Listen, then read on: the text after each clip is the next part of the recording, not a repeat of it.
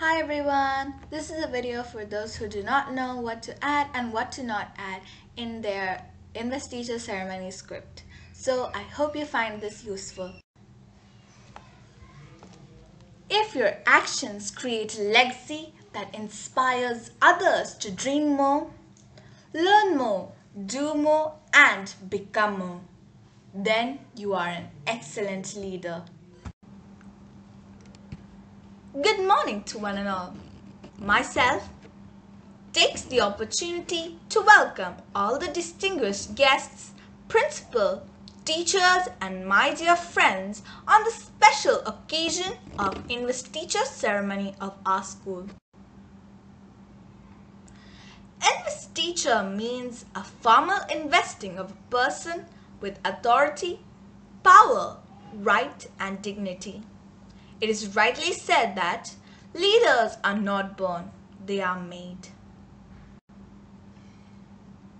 Investiture ceremony is one of the most important ceremony of the school. It reminds us of the trust and confidence that we repose in our newly elected cabinet.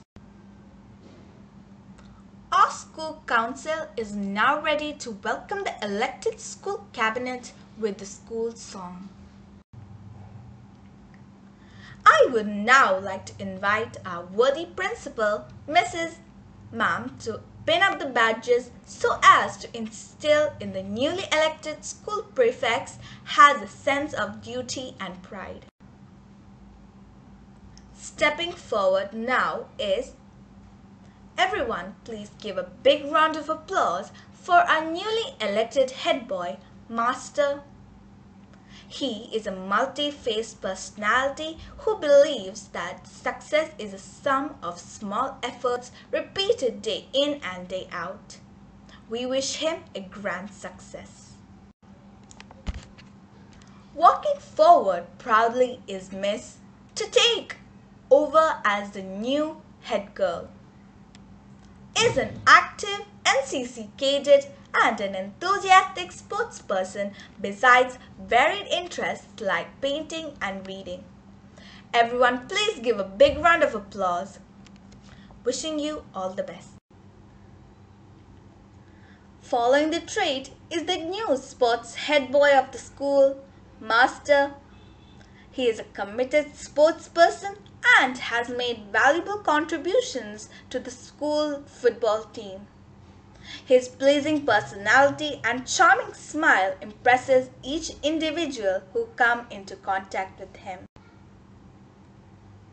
Now steps forward as the newly elected sports head girl of the school.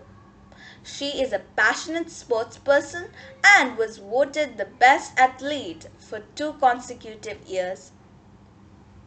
Her exceptional oratory skill has earned her the respect of one and all. Wishing her good luck. It is indeed a defining day for the entire school. I hope that these young leaders will uphold the values of the school and keep school flag high while discharging their duties honestly and impartially.